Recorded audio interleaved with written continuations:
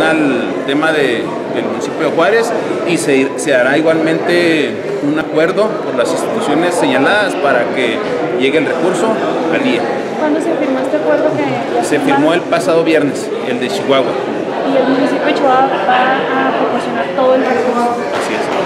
Oiga, ¿cuándo podía llevarse a el plebiscito? ¿No tuvieron la fecha del acuerdo? No, pues eh, este, el IE va, va a determinar las fechas, pero ya, ya está el proceso, pues, de alguna manera establecido y legitimado para que, para que sea un plebiscito transparente, que es certidumbre y que refleje eh, la aspiración, pues, y el deseo de los habitantes. Se queda en el mismo concepto, 8.1 millones de pesos.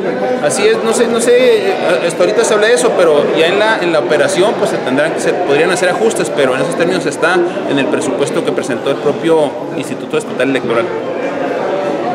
Ya está.